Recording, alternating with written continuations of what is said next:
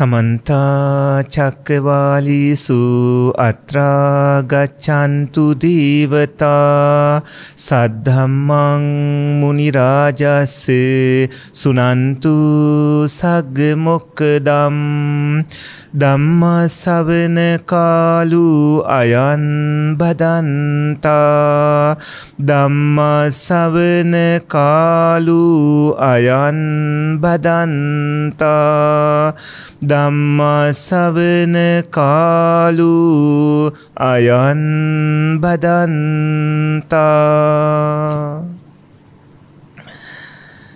නමුතස් භගවතු අරහතු සම්මා සම්බුද්දස්ස නමුතස් භගවතු අරහතු සම්මා සම්බුද්දස්ස නමුතස් භගවතු අරහතු සම්මා සම්බුද්දස්ස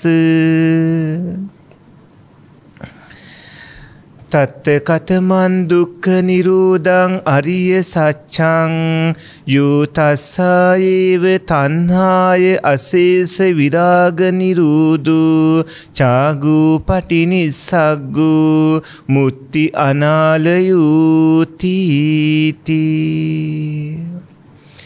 කරුණාවන්ත ගුණබර සත්පුරුෂ පින්වත්නි පින්වන්ත අපේ ස්වාමින් වහන්සේ සැදැහැබර සත්පුරුෂ පින්වතුනි අද දවසේදී පින්වන්ත ඔය ඇත්තන්ට අපි ධර්මානුශාසනාවන් පවත්වන්නේ චතුරාර්ය සත්‍ය ධර්මයේ එන දුක්ඛ නිරෝධ ආර්ය සත්‍ය කියන්නේ මොකක්ද කියලා. ඒ කියන්නේ නිවන. නිවන පිළිබඳවයි අද ධර්මානුශාසනාවන් පවත්වන්නේ. අද පින්බර ධර්මදාන් දායකත්වයේ දරන්නේ මෙම උතුම් ධර්මදේශනාව ප්‍රඥා නාලිකාව තුළින් විකාශනය කිරීම සඳහා ගනේමුල්ල පදිංචි සුපින්වා සුනිල් මැත්තුමා ප්‍රේමරත්න මැතිතුමා කාන්ති මැතිනිය යමුනා මැතිනිය යන ඒසි පිම්බර මව්පියම් පින්වතුන් සහ එම පින්වතුන්ගේ ආදරණීය දූ දරුවන් පිම්බර සැදැහැති දායකත්වයේ දරනු ලබනවා. මෙම ධර්මදේශනා දායකත්වයේ දරමින් අරමුණු කරන්නේ මෙම උතුම් ධර්මදානයෙන් සිදුකරගත් පුණ්‍ය කුසලය පිරිසුදු සත් ධර්මය ලොව බොහෝ කල් බැබලීමටත් සංඝරත්නයේ නිරෝගී භාවයේ සහ සමගිය පිණිසත් දේශක ශ්‍රාවක දායක සැමට ඉක්මනින්ම ධර්මාබෝධය පිණිසත් හේතුවාසනා වීවා ඉක්ල නිවනම අරමුණු කරනවා. සැදැහැබර සත්පුරුෂ පින්වත්නි බුදුපියාණන් වහන්සේ ලොව පහළ වෙලා මෙතෙක්කල් කාසේ බුදුරජාණන් වහන්සේගේ පහළවීමෙන් පසුව වැසී තිබුණු චතුරාර්ය සත්‍ය ධර්මය විවර කරනවා. ලෝකේ පවත්ති පවත්තක නිවත්ති නිවත්තක කියලා න්‍යායන් හතරක් අනුව පවතින්නේ.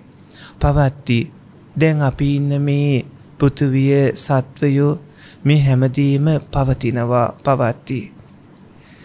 පවත්තක දැන් මේ පවතින දේවල් පවත්වන හේතුවක් තියෙනවා. දෙයක් පවතිනවා නම් පවත්ති පවත්තක පවත්වන හේතුවක් තියෙනවා නම් නිවත්ති ඒ පවතිනදී නැති කරන්න පුළුවන් වෙන්නත් ඕනේ. නිවත්ති ඒ දේ නැති කරන්න නම් නැති කරන්න පුළුවන් මාර්ගයක් තියෙන්න ඕනේ ඒ තමයි නිවත්තක.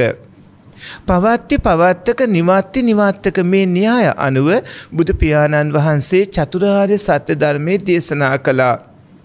එයින් පවත්ති කියලා කියන්නේ දුක්ඛ ආර්ය සත්‍ය පංච උපාදානස්කන්ධය.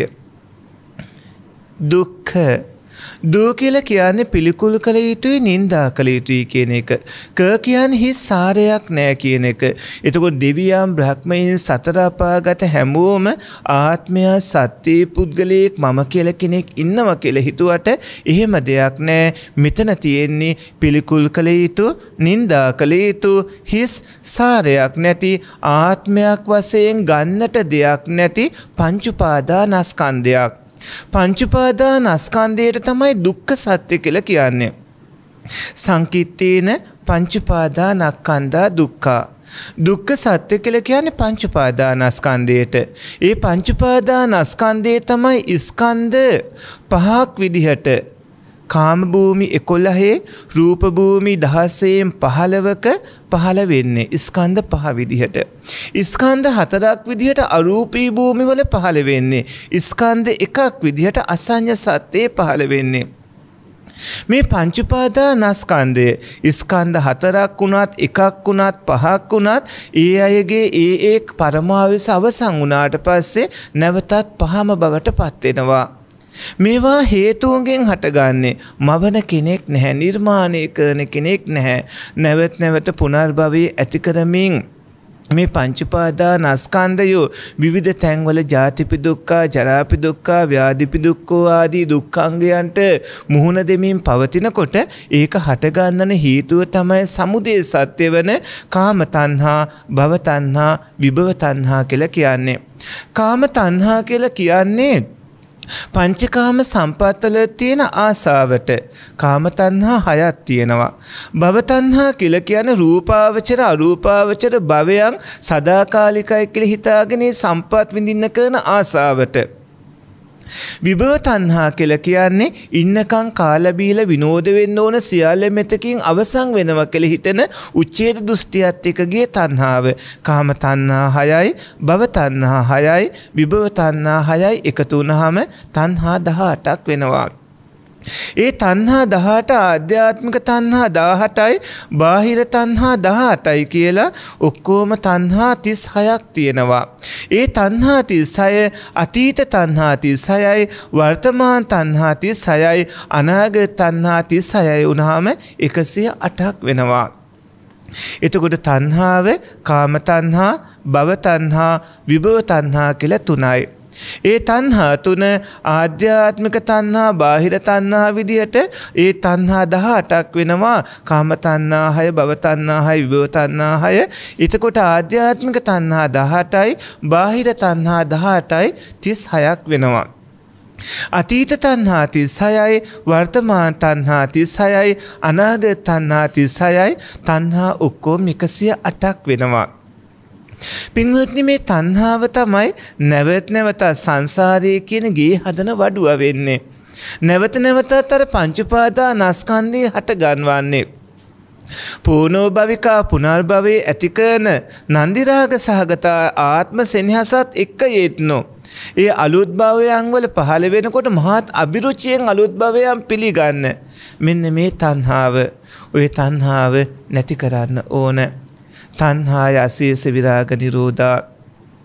මේ තන්හාව සම්පූර්ණයෙන්ම නැත්තටම නැති කරන්න ඕන තන්හාාව නැති කිරීම තමයි පින්වත්නි මෙතන නිවන වෙන්නේ.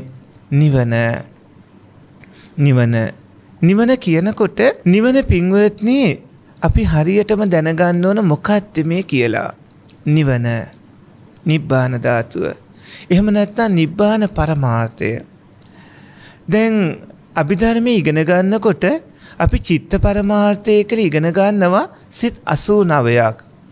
ඒ සිත් අසූ නවයෙන් සුස්ක විදස්සක ලෝකෝතර සිත් අටවෙනුවට එතන සමතයානික ධ්‍යාන ලෝකෝතර සිත් හතලි එකතුනාම එකසේ විසි එකක් වෙනවා. සූත්‍රකමයට ආයතන බේදයෙන් සිත් තියෙන්නේ. ඒ කියන හයක්. සිත් හයක් වේවා සිත් අසූ නවයක් වේවා එකසේ විස්ස එකක් වේවා. මේ කොයි විදිහට එක එක සත්වයන්ගේ ස්වභාවය අනුව මේ කොයි විදිහට තිබුණත් ඒ චිත්ත පරමාර්ථය ගැන විඤ්ඥානස්කන්දය. විඤ්ඥානස්කන්දය ස්කන්දවලින් විඤ්ඥානස්කන්දය. ඊට පස්සේ අපිට හම්බ වෙනවා චෛතසික පරමාර්ථය. චෛතසික පරමාර්ථයේ චෛතසික පනස් දෙකක් තියෙනවා. අන්‍ය සමාන දහතුනක් ඒවාගේම අකුසල දාහතරක් සෝබන අපිට හම්බ වෙනවා සෝමන රාශි විසි පහක්. මේ චෛතසික පනස් දෙකම ගන්නකොට දෙපනා චෛතසිකයෝ මේ පංචුපාදානස්කන්දේ වේදනාස්කන්දය සංඥාස්කන්දයටයි වේදනා සංඥා කියන චෛතසික දෙක අයින් වුණාම ඉතිරි සංඛාරාස්කන්ධයට තමයි චේතනාවයි ඉතිරි චෛතසික 49යි අයිති වෙන්නේ. එතකොට ඔක්කෝම වේදනා සංඥා සංකාර කියන්නේ නාම ධර්මවලට අර චෛතසික 52ට. ඊට පස්සේ රූපේ රූපේ කියන්නේ අටවිසි රූපවලට මේ පංච උපාදානස්කන්ධේ හේතුඵල ධර්මයන්ගේ ක්‍රියාකාරීත්වයක් හේතුඵල ධර්මයන්ගේ ක්‍රියාකාරීත්වයක් වූ පංච උපාදානස්කන්ධයේ පැවැත්ම පසුපස්සේ තියෙන හේතු නසන්න ඕන. හේතු නසන්න නම් ඒ වෙනුවෙන් අපි කළ යුතු වැඩ කොටසක් තියෙනවා. සත්පුරුෂ පින්වත්නි මුලින්ම නිවන් දකින්න කටයුතු කරන අය අපි ඊළඟ සතියේ ඔබට දේශනා කරන දුක්ඛ නිරෝධගාමිනී පටිපදා ආර්ය සත්‍ය කියන ආර්ය අෂ්ටාංගික මාර්ගයේ පිළිපදින්නම ඕනේ. ආර්ය අෂ්ටාංගික මාර්ගයේ ලබන සතියේදී දේශනා කරනවානේ. ඒ ආර්ය අෂ්ටාංගික මාර්ගයේ හරියට පිළිපැද්දොත් ඒ ඇගේ චිත්ත සන්තතියේ බෝධිපාශික ධර්ම වර්ධනය වෙනවා. ආර්යෂ්ඨායක මාර්ගයේ පිළිපදින්න ගිහි පැවිදි දෙගොල්ලටම පුළුවන්. මහා පානිබ්බාන සූත්‍රයේ භාග්‍යවතුන් වහන්සේ දේශනා කළා වගේ මේ මනුස්ස ජීවිතයේදීම ආර්යෂ්ඨායක මාර්ගයේ පිළිපදනවා නම් කෙනෙක්ට රහතන් වහන්සේ නමක් රහත් තෙරණින් වහන්සේ නමක් වෙන්න පුළුවන්. මගපල් ලබන්න ති හේතුක උපතක් ඕන. දිහේතුක අයට අහේතුක සුගති අයට අහේතුක දුගති අයට මේ ජීවිතයේ මගපල් ලබන්න බැරි වුණාට දැන් ධර්මයේ හැසෙනකොට ඊළඟ භවයේ තිහේතුක වෙලා හදියට ගග්ගරා පොකුණ ඉවුරේ හිටියේ මණ්ඩුක ගෙම්බ වගේ භාග්‍යවතුන් වහන්සේගේ දහම් හඬ අහලා එතනින් චුත වෙලා දිව්‍ය ලෝකේ උප්පත්තිය ලැබලා ඒ දෙවියෝ අර ගග්ගරා පොකුණියුරේ ධර්ම දේශනා තවදුරටත් කරමින් හිටිය බුදුරජාණන් වහන්සේ ළඟට ඇවිල්ලා ධර්ම ශ්‍රවණය කරලා ධර්මාබෝධය ලැබුවා වගේ. අහේතුක දුගති කෙනා ගේ චුතියත් එක්කම ඒ කෙනා තිහේතුක වෙලා තිහේතුක කෙනාගේ නැවත පැමිණීම භාග්‍යවතුන් වහන්සේ ළඟට සිද්ධ වෙලා ඒ දෙවිය සෝහාන් මාර්ගයට පත් වුණු ආර්ය උත්තමයෙක් වෙනවා. ඒ වගේ අහේතුක දුගතිය අය දිහේතුකය අහේතුක සුගතිය අය පින්වත්නී තිහේතුක වන හේතු සම්පත් වැඩපිළිවෙලක් ඕන. ඒ හේතු සම්පත් වැඩපිළිවෙල සම්පූර්ණයම තියෙන ආර්යෂ්ඨායික මාර්ගයේ තුල. ඒ ගැන මේ මොහොතේ වැඩිය විස්තර කරන්න ලබන දේශනාවාරි විස්තර කරන නිසා සත්පුරුෂ පින්වත්නි ආරෂ්ඨායික මාර්ගයේ පිළිපත්න ගිහි පැවිදි දෙගොල්ලොම තමන්ගේ ජීවිතය ඒකට අනුගතව සකස් කරගන්නට ඕන. ගිහි පින්වතුන් නම් ධනවත් වෙන්න ඕන, බලවත් වෙන්න ඕන, සුඛිතමුවිත වෙන්න ඕනේ. බුදුදහම උගන්වන්නේ ওই ලෞකික සම්පත් සියල්ල අත්හරින්න කියලා. බුදුදහම උගන්වන්නේ පින්වත්නි දුක ගැන. ඒ දුක කියන්නේ පංච උපාදානස්කන්ධ දුක මිසක් මේ සැපට විරුද්ධ දුක නෙමෙයි. පංච උපාදානස්කන්ධ දුක. පංච උපාදානස්කන්ධ දුක නැති කරන්න නම් නැති කරන්න පුළුවන් උපතක් ඕන.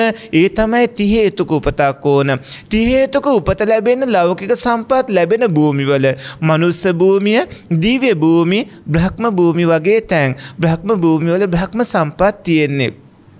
ලෞකික සම්පත් ඕන වෙනවා. ඇස්වල පෙනීම කංවල ඇහීම නිදුක් නිරෝගීකන් සුවපත්කම් ලෙඩරෝගාදිය නැති ජීවිතයක් මේ වගේ දේවල් ඕන වෙනවා පින්වත්නි මගපල් ලබන එකට. මාර්ගඵල ලබන්න ඒවා ලැබෙන්න ඕන. එතකොට ඔය ඇත්තන්ගේ මුළු ජීවිතේම හොඳට කළමනාකරණය වෙලා තියෙන්න ඕන. ඔබ ඔබේ දූදරුවන්ට කොච්චර ආදරේ වුණත් නෑදෑයින්ට අඹ සැමියන්ට කොච්චර ආදරේ වුණත් ඒ අයගේ සිස්සතන් කෙලෙස් බර වෙලා වෙනස් වෙන්න යන්නේ එක නිමේෂයයි. ඒ නිමේසයෙන් සියල්ල ඔබට අහිමි වෙනකොට ඔබේ ජීවිතයේ කනගාටුදායක තත්ත්වයකට වැටෙන්න පුළුවන්. ඒ නිසා මව්පියන්ගේ යුතුයකම්, දූදරුවන්ගේ යුතුයකම්, වගකීම් ඒවා පින්කමක් බවට පත් කරලා ඒ කටයුතු කරන අතරේ ඔබ කෝමා තත්ත්වයකට පත් වෙලා ඔබ ලෙඩ වෙලා හිටියත් ඔබේ යැපීම වෙනුවෙන් ජීවත් වීම වෙනුවෙන් පින්වත්නි යම් ආර්ථික වැඩපිළිවෙලක් තියාගන්න වෙනවා. භාග්‍යවතුන් වහන්සේ චතුත්ථංච නිදාපේ ආපදාස භවිස්සති කියලා දේශනා කර විදියට ඔය ඇත්තෝ යම් තැම්පතුවක් යම් කිසි ආරස්සිත අනාගතයක් වෙනුවෙන් කටයුතු ලෑස්ති කරගෙන ඉන්න වෙනවා කෝමා තත්ත්වයකදී හිටියත් දැන් හොඳට ධර්ම විනය ඉගෙනගෙන හිටියොත් ඔය ඇත්තන්ට මනා එතන ධම්මාරම්මන ඇතිවෙමින් ඉන්න ඒ අතිශයින්ම මොලය බොහෝ දුරට කියා විරහිත වෙලා ශරීරයෙන් දෙයක් අඟවන්න බැරිව තියෙන නමුත් මන ආයතන ධම්මාරම්මන ආදී විදිහට හෝ ආයතන වලින් අරමුණු ගනිමින් ඔය ඇත්තෝ ඉන්න ඒ අවස්ථාවක ඔබ කලින් දැනගෙන හිටිය ධර්ම කාරණා මෙනෙහි කරලා මගපල් ලබන තත්ත්වයකට උනත් යන්නේ ති හේතුකට උපත උපකාර වෙනවා. ඒ සඳහා සුදුසු හොඳ ආර්ථික වැඩපිළිවෙලකුත් තියෙන්න ඕන. ලෞකික ලෝකෝත්තර සම්පත් දෙකම ලැබෙනවා ආර්යෂ්ටායික මාර්ගයේ පිළිපැද්දොත්. ආර්යෂ්ටායික මාර්ගයේ පිළිපැත්න අය සීලස්කන්දය සමාධිස්කන්දය ප්‍රඥාස්කන්දයන් හරියට සම්පූර්ණ කරගත්තොත්. ඒ පින්වතුනට පුළුවන්කම ලැබෙනවා සතර සතිපට්ඨානය කායානුපස්සනා වේදනානුපස්සනා චිත්තානුපස්සනා ධම්මානුපස්සනාවම් පින්වත්නී ඒ සතර සතිපට්ඨාන සිහියෙන් කටයුතු කරන්න.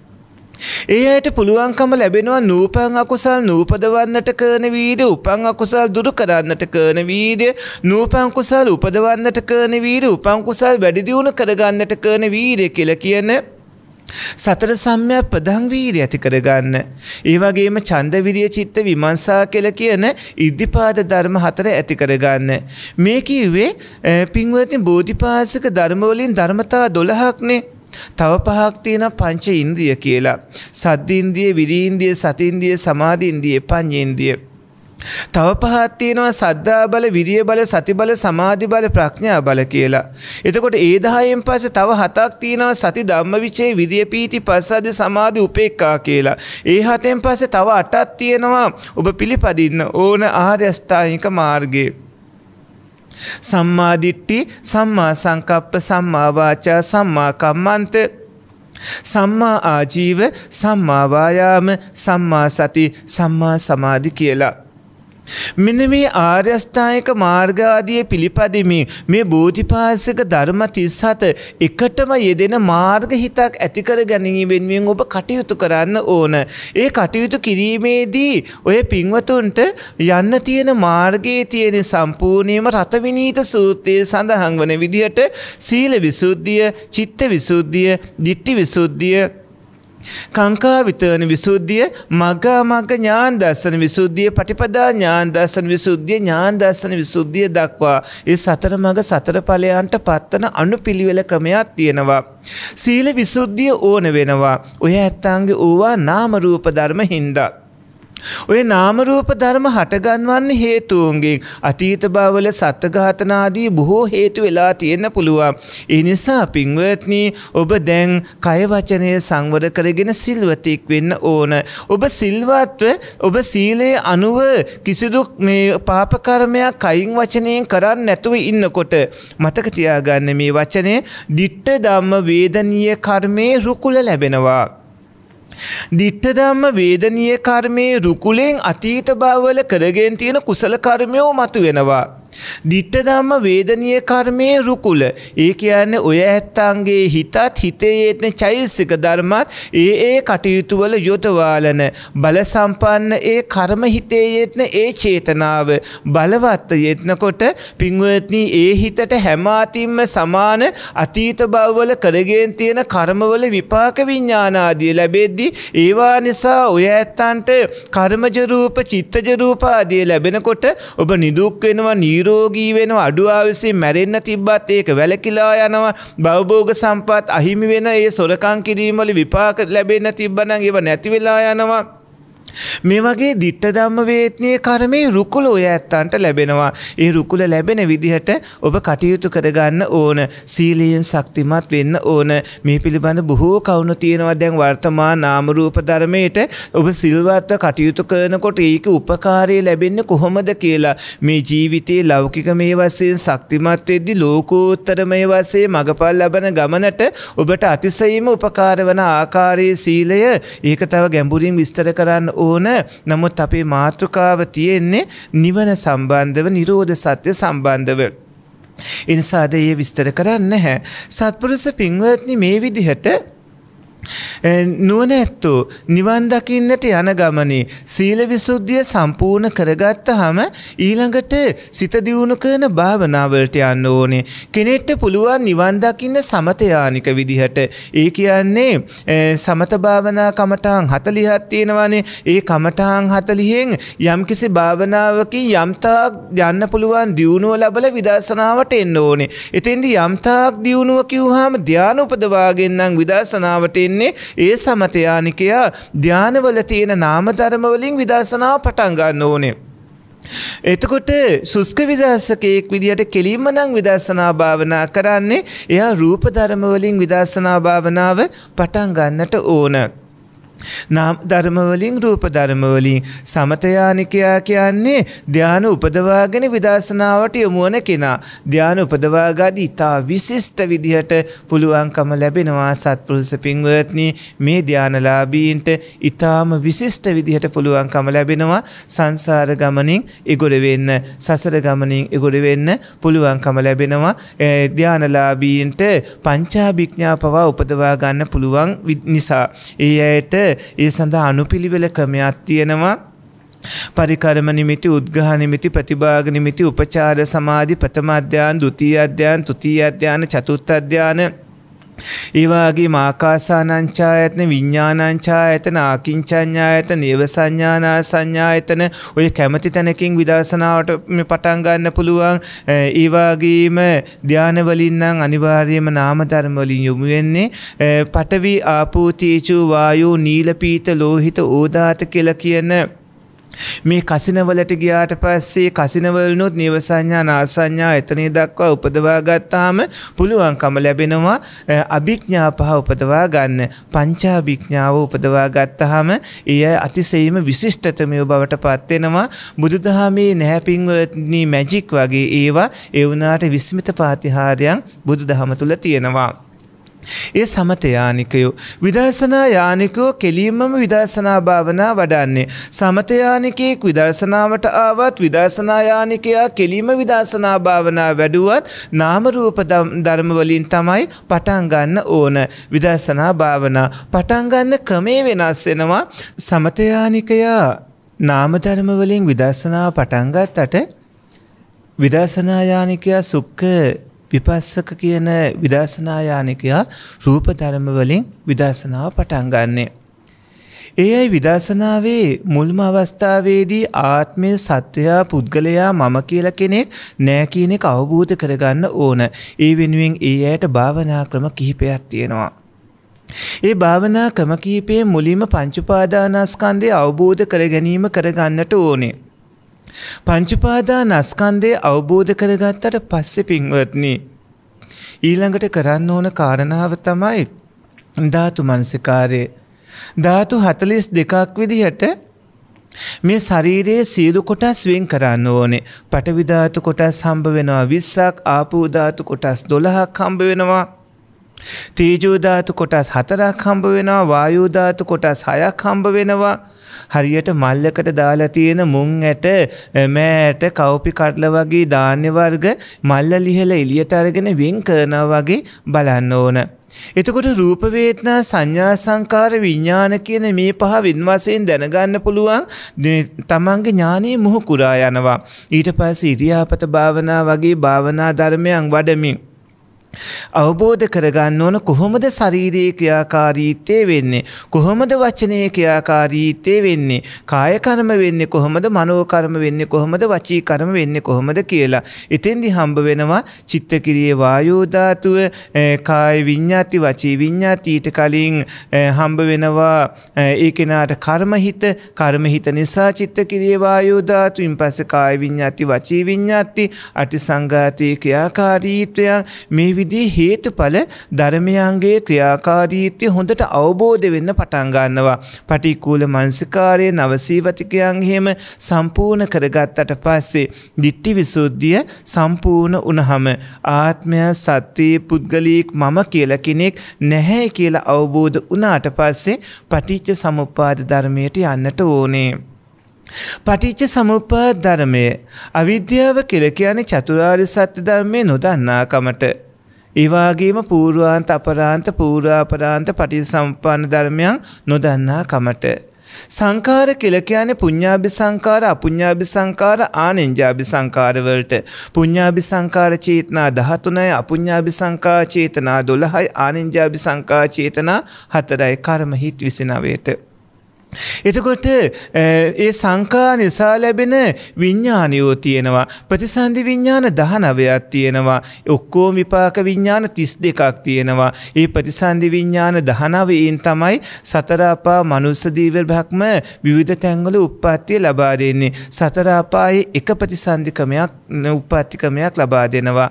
මනුස්ස භූමියයේ උපත්තිකම ලබා දෙනවා තුන් විදිහක් අහේතුක සුගති දිහේතුක තිහේතුක ක්‍රමයට ඒවාගේම මනුස්ස භූමියේ විඤ්ඥාන ගත්තාම නවයක උප්පත්තියක් මනුස්ස භූමියේදී තියෙනවා.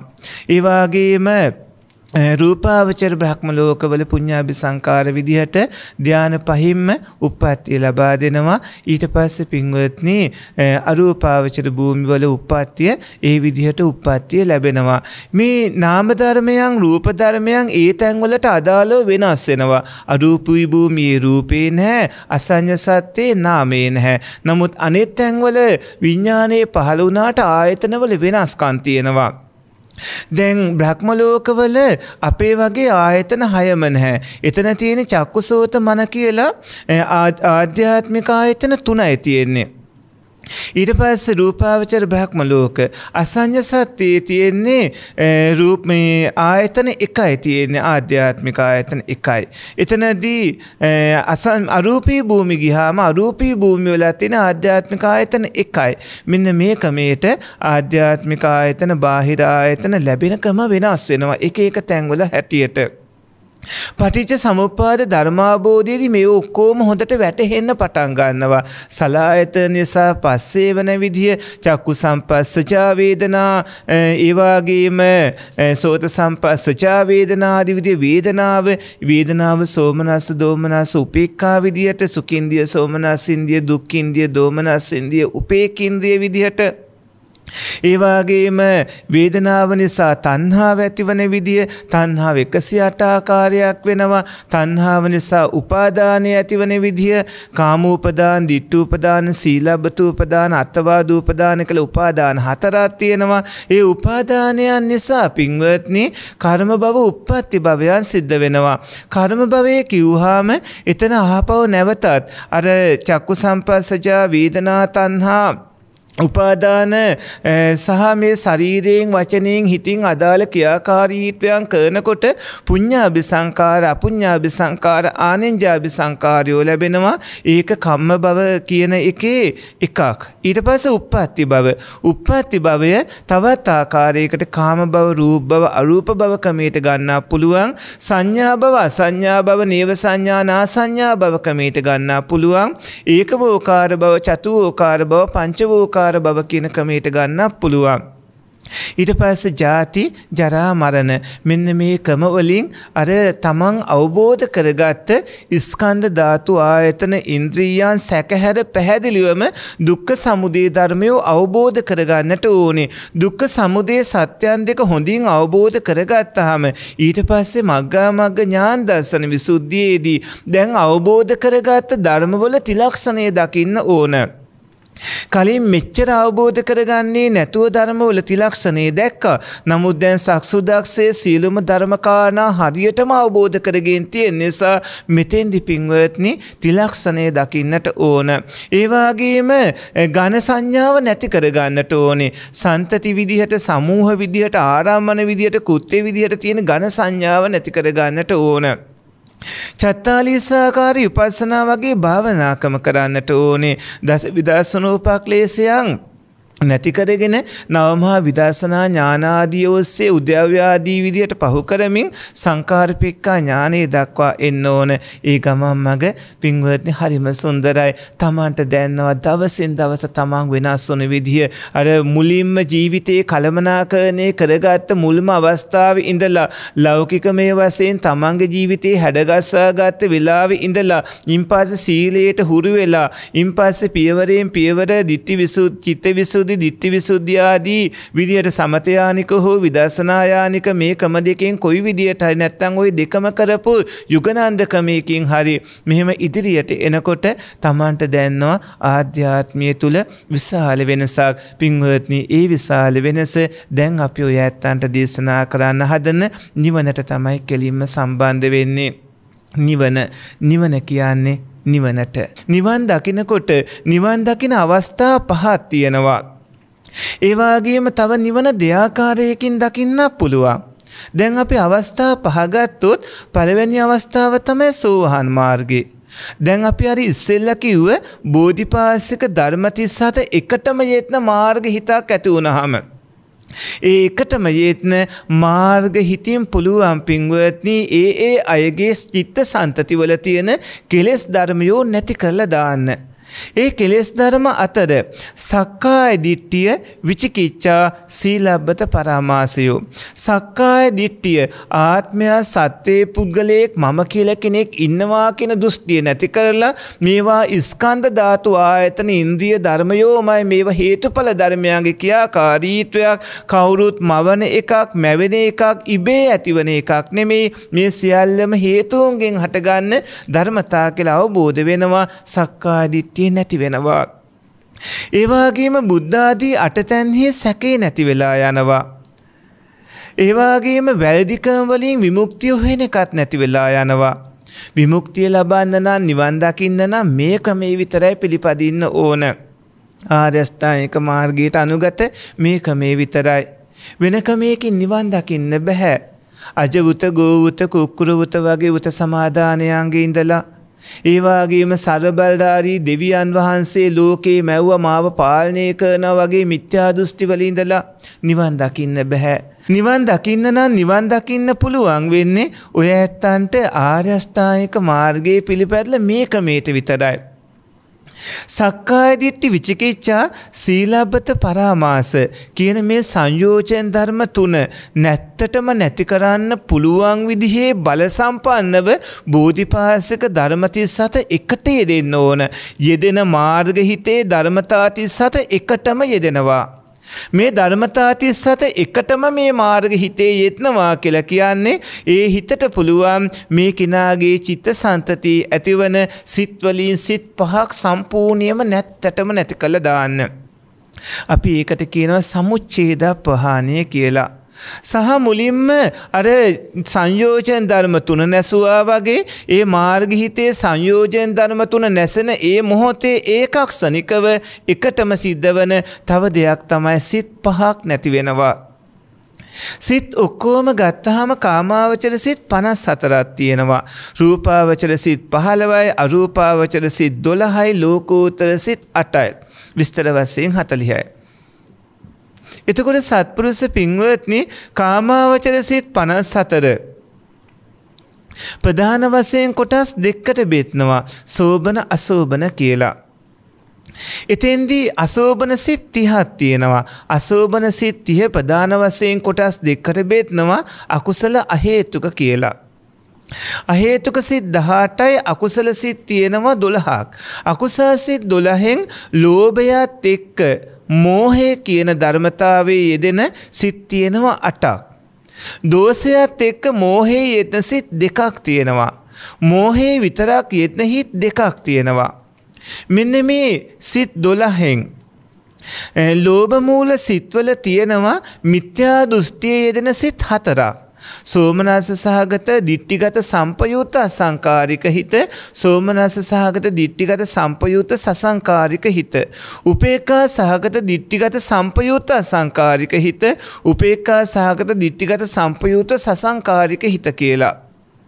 ඔන්න ඔය සිත් හතර මිත්‍යා දෘෂ්ටියත් එක්ක යෙදෙන හිත්. සෝහාන් මාර්ගයට පත්වෙනකොට ඔය සිත් හතර සම්පූර්ණයම නැත් ඇත්තටම නැති කළ දානවා.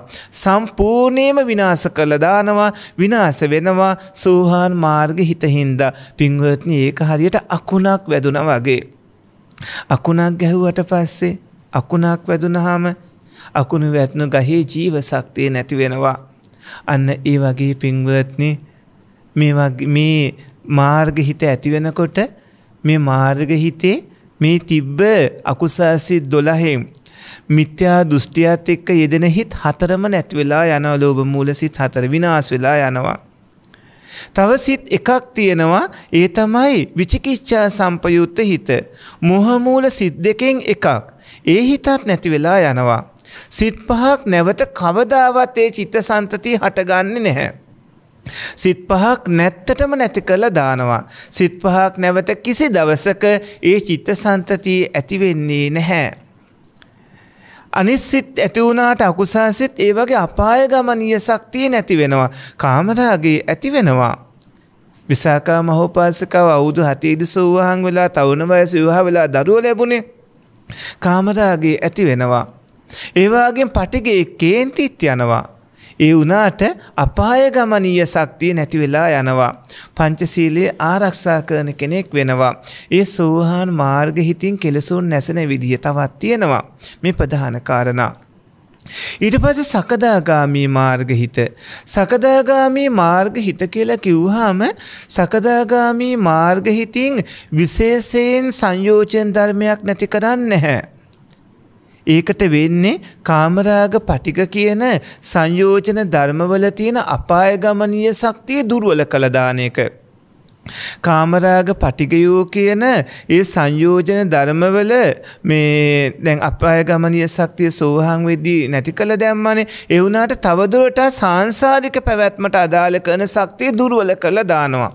ඒ තවදුවට සංසාරේ පැවැත්මට ඉඩ තියන්නේ නැහැ සකදාගාමී වෙච්ච උතුමන් වහන්සේලාගේ චිත්ත සන්තතියේ විශේෂයෙන් හිතක් නැත්තටම නැති වෙන්නේ. නමුත් තවදුරටත් අර සෝහාන් වෙච්ච කෙනෙක් ඒක බීජී කෝලං කෝල සත්තක්කත්තු පරම විදියට ඉන්න පුළුවන්.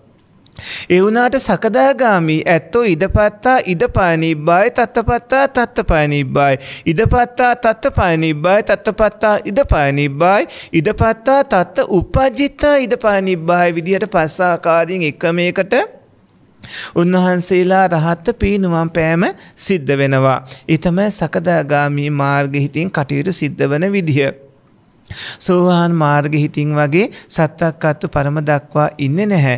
ඊට පස්සේ අනාගාමී උත්තමයෝ අනාගාමී උත්තමයන් වහන්සේලා බවට පත්වෙනකොට සංයෝජන ධර්ම වලින් අර සකදාගාමී මාර්ග හිතින් තුනී කළ දාපු කාමරාග පටිගයෝ නැත්තටම නැති කළ දානවා.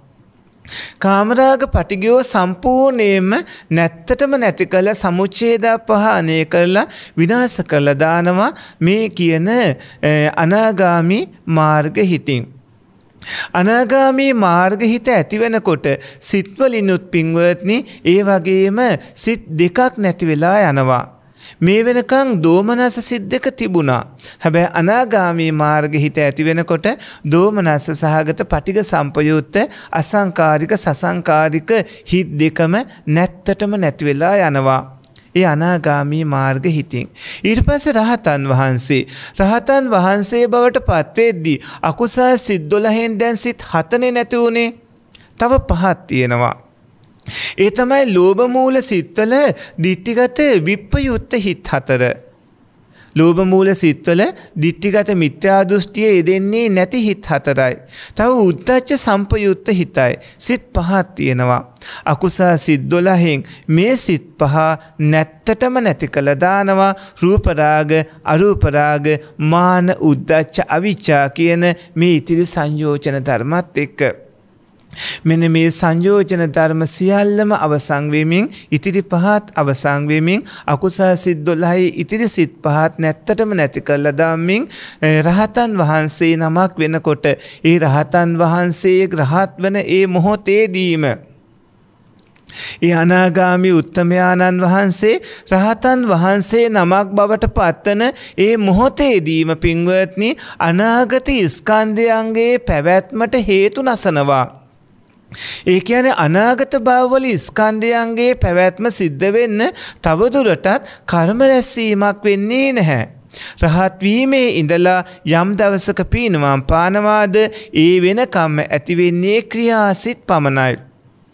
ක්‍රියාසිත පැවතුනාට වර්තමාන ස්කන්ධයන්ගේ පැවැත්ම අනුපාසේස පරිනිර්වාණය දක්වා තියෙනවා.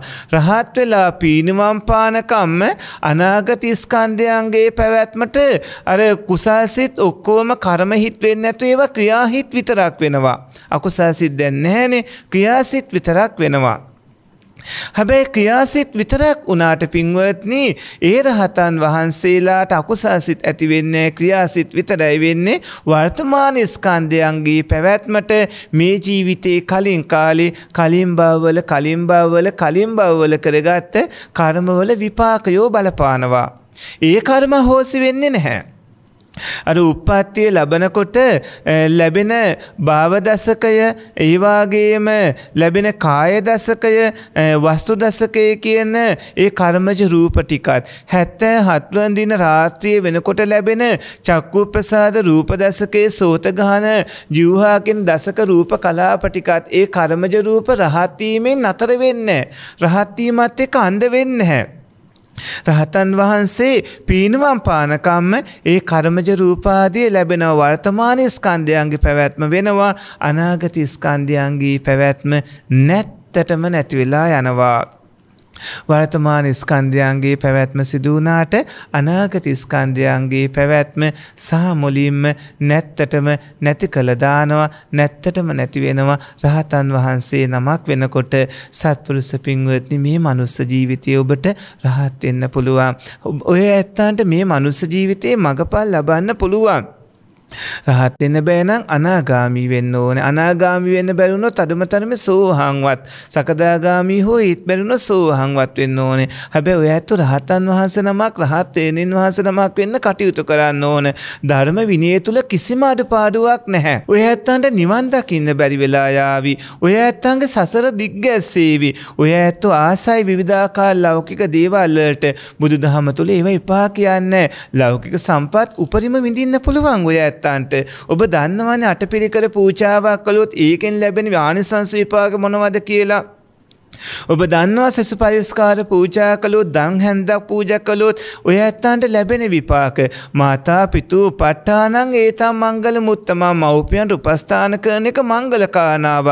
ඒකනොත් ලැබෙන කුසල විපාක ඔය ඇත්තන්ට තේරුම් ගන්න පුළුවන්නේ. තමන්ගේ අඹ සැමියන්ට සලකන එක ස්වාමියා භාර්යාවට භාර්යාව ස්වාමි පුරුෂයාට සලකන එක පින්වති විශාල පුණ්‍ය කර්ම විශාල කුසල කර්මයක්. දැන් හුඟක් කට්ටිය විවාහ ජීවිතයට ඇතුල් වෙන්න කැමතිනේ. විවාහ වෙන්න අකමැති අයට අර කට්ටි බල කරනවා විවාහ වෙන්න විවාහ වෙන්න කියලා. මොකටද විවාහ වෙන්න කියලා අර කට්ටි අහනකොට අවිවාහක අය අහනකොට දෙන උත්තරේ තමයි කවදා දවසක වතුර උගුරක් හරි දෙන්න කෙනෙක් ළඟ ඉන්න ඕනේ කියලා. ඒ කියන්නේ වයසට ගියාම වතුර බොන්න බලාගෙන තමයි විවාහ වෙන්නේ. හැබැයි වයසට ගියාට පස්සේ තමන්ගේ වතුර ටිකක් තමන්ට බීලා අනික් කෙනාගේ කටයුතුත් කරලා රෝහල් වලට යන්නයි එතනින් අතර වෙන්නේ නැතුව දරුවන්ගේ දීපල ප්‍රශ්න තව කොතෙකුත් දේවල් ගැටුල් තියෙනවාද ගෙවල් දොරවල් නඩත්තු කරගන්න වයසට ගියා කියලා ගෙවල් දිරන්න නැතුව තියෙන්නේ නැහනේ. තව ගොඩක් වැඩ කටයුතු එක්ක ජීවිතේ අවුල් ජාලාවක් වෙනවා. සමහර වෙලාවට padi නොලබන මෙහෙකරුවා මෙහෙකාරියන් වෙනවා. ඒ තමයි තමන්ගේ දරුවන්ට කෑම හදලා දෙන්න ඕනේ විතරක් නෙමෙයි දරුවන්ගේ දරුවෝ මොන්ටිසෝරි එක්ක යන්නයි ඒව බලා ගන්න. තව කොතෙකුත් දේවල් ජීවිතේ ගැට ගොඩ ගැඩ මේ ගැට ගොඩකට අහු වෙනවද? පින්වත්නි ඔය ඇත්තෝ බොහෝම නුවනින් සිහිනුවනින් කටයුතු කරන්න ඕනේ. සමහර විවාහකයගෙන් ඇහුවාම විවාහ වුණාට පස්සේ ලැබිච්ච නැති දේවල් මොනවද කියලා? මොනවද තිබිලා අහිමි වුණේ කියලා ඇහුවොත්? අනේ මට නිදහස නැති වුණා. මට අහිමි වුණේ මට මාව නැති වුණා. මට මගේ නිදහස නැති වුණා. මේ බොහෝ දෙනා කියන කතාව ඕනෑ විවාහකයගෙන් ඇහුවොත් තමන්ට අහිමිවුණු දේවල් අති විශාල ප්‍රමාණයක් කියයි. අනේ මට මාවම අහිමි වෙලා ගියා. මගේ ජීවිතේ මට නැති වුණා. මම පඩි ලබන්නේ නැති වැඩකාරියෙක් වුණා, වැඩකාරියක් වුණා. ඒ වුණාට මම කරපු කැපකිරීම කිසි දෙයකට මට වටිනාකමක් නැහැ. මේ විදිහට සිත් ඇවුල් පීඩා ගොඩයි. මුළු ජීවිතේම පින්වතින් අවුල් චාලයක්. ඒ නිසා නුවණැති ඇත්තෝ මේ ජීවිතයේ ස්වභාවය තීරුම් ගන්නට ඕන සම්පූර්ණයෙන්ම නිදහස් ජීවිතයකට හුරු වෙන්නට ඕන. ගිහි ජීවිතයේදී වුණත් ස්වාමියා භාර්යාවේ කටයුතු භාර්යාව ස්වාමි පුරුෂයා කටයුතු ඒ දේවල් කරමින් ඒක පින්කමක් කරගන්නට ඕනේ. තමන්ගේම ස්වාමි පුරුෂයා ලෙඩ ඇඳේ පණ අදිමින් ඉන්නකොට තමන්ගේ දැන් වයසට ගිහිල්ලා කකුල්වල කාටලේ ක්ලේචය එහෙම ඔක්කෝම ගෙවිලා ඇමුළු ඇඟම දුර්වල වෙලා තියෙනකොට හොඳටම දුර්වල වෙලා තමනුත් අමාරුවෙන් ඉද්දි. කොච්චර අමාරුකම් තියෙද්දි වුණත් තමන්ගේම ස්වාමියා ගැන වුණත් ඔය ඇත්තෝ කරුණා මෛත්‍රී ඇති කරගෙන වතුර ටිකක් දුන්නත් හැබැයි ඒකෙන් කුසලයක් නම් සිද්ධ වෙනවා පිනක් සිද්ධ වෙනවා. මුළු ජීවිතේ මේ වගේ පින්කමක් කරගන්න.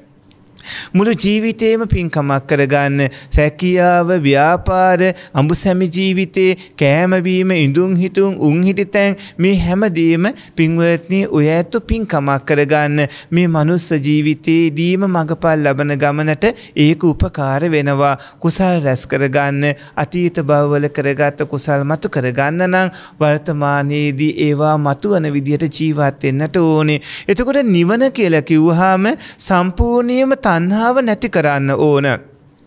තණ්හාව සම්පූර්ණයෙන්ම නැති කළ දාන්න නම් නිවන් දකින්න නම් ඒක පස්සාකාරයක් හෝ දෙයාකාරයක් වෙනවා. පස්සාකාරයක් කිව්වේ සෝහාන් මාර්ග හිතින් මුලින්ම නිවන් දකිනවා. සකදාගාමී මාර්ග හිතින් දෙවනියට අනාගාමී මාර්ග හිතින් තුන්වැනියට අරහත් මාර්ග හිතින් හතරවැනියට ඒ රහතන් වහන්සේගේ අනුපාදිශේෂ පරිනිර්වාණය තමයි පස්වැනියට. ඒ තමයි පස් ආකාරයකට නිවන.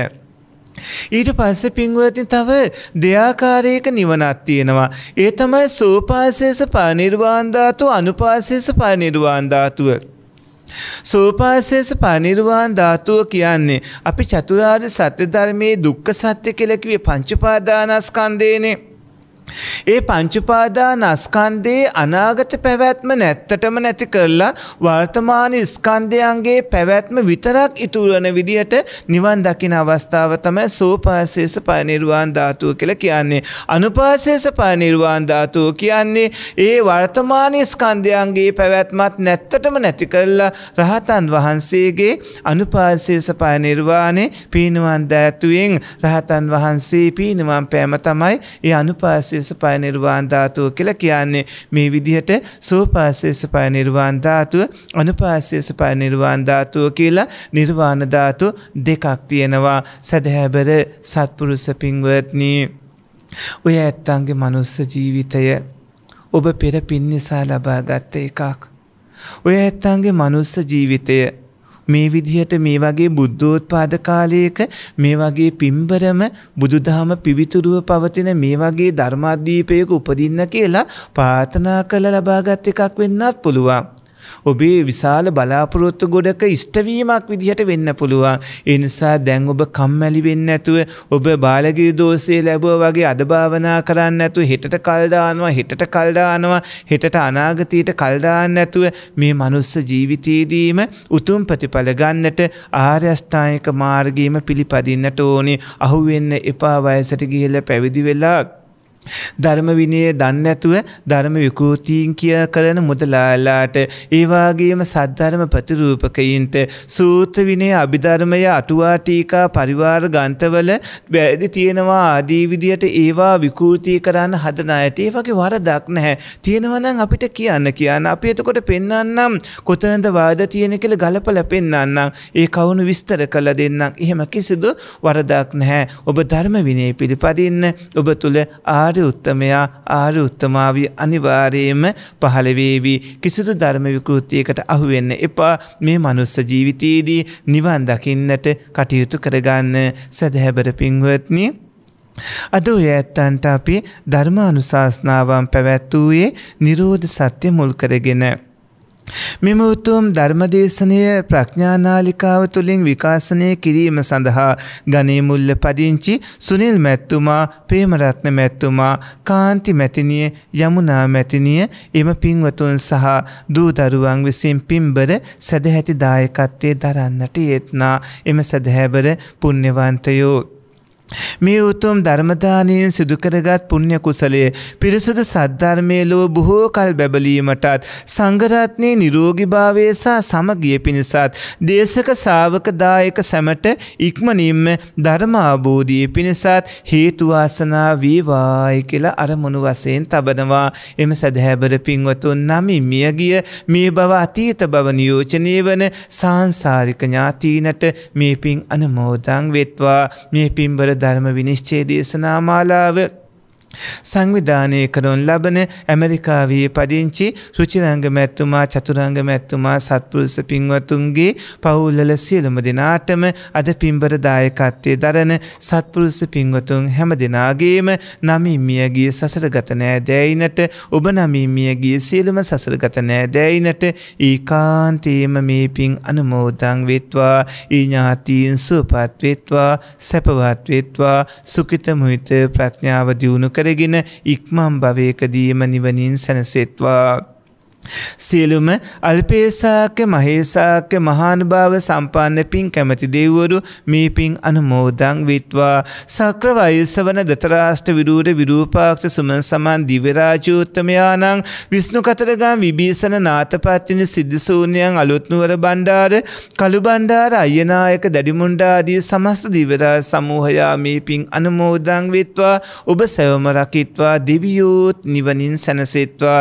මිත්‍යා දෘෂ්ටික දේ දෙව්වරු සම්්‍යා දෘෂ්ටික වේවා සම්්‍යා දෘෂ්ටික දෙව්වරු ඉක්මම් භවයකදීම රහත්ත පීනුවම් පාත්වා ඔබ හැම දිනාටම කල් නොයවා ඉක්මම් භවයක නිවන් දකින්නට ඒ ලෝතුරු බුදු පස්සේ බුදු මහෝත්තමයාණන් වහන්සේලා සාන්තයි සාන්තයි සාන්තයි සුවය සුන්දරය කියා වදාළ නිත්‍ය මංගල පරම සුන්දර අචරාමර උතුම් නිවනින් සැනසෙන්නට මේ පුුණ්‍ය ධර්මයෝ උපකාරක හේතු සම්පත්ම වීවා. ප්‍රඥා නාලිකාවේ ගෞරවනීයම අධ්‍යස්සක නායක නාහිම්පාණන් වහන්සේ ඒවාගේම ධර්මස්වනය කළ පින්වත් මහා සංඝරත්නය ඒවාගේම කුසාන් මහත්මා සහයි ධර්මස්වනය කළ සියලු දෙනාම කුසාන් මහත්මා සහ ප්‍රඥා නාලිකාවේ සියලුම කාර්යමණ්ඩලී මහත්ම මහත්මින් හැම දෙනාටම දායකත්වයන් දැරූ සැමට ඔබට තුනුරුවන්ගේ සරණින් නිදුක් නිරෝගී දීර්ඝායසම ලැබේවා. ආකාසට්ටාච බුම්මට්ටා දීවානාගා මහිද්దికා පුඤ්ඤන්තං අනුමෝදිත්වා චිරන් රක්칸තු ත්වන් සදා. තෙරුවන් සරණයි. මෝහක්ඛයෝ නිබ්බානං